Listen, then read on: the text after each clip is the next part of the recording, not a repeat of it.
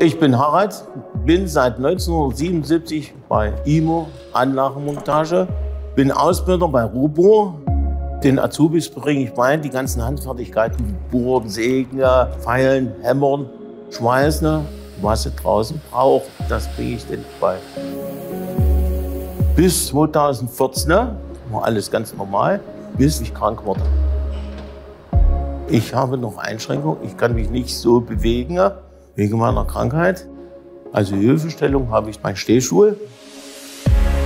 Die Firma und ich, wir haben uns Gedanken gemacht, welche Aufgaben ich noch meistern kann mit meiner körperlichen Behinderung. Wir haben dann einen guten Job gefunden, dass ich mein Fachwissen an die Azubis weitergeben kann. Ich finde, Herr Knut ist ein sehr guter Ausbilder. Er erklärt sehr vieles und auch sehr verständlich.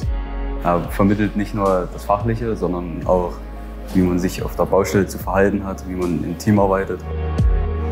Die Jugend, das macht mir besonders Spaß. Mal sind sie zickig, mal sind sie, hm, aber trotzdem, es macht Spaß.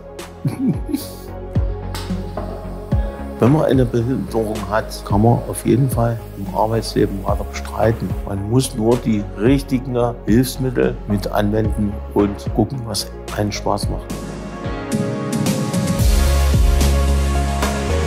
Knappe 47 Jahre bin ich bei der IMO Anlagenmontage.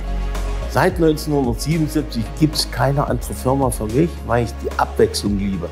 Und die Herausforderung, was mir gestellt wird, dass ich die auch meister.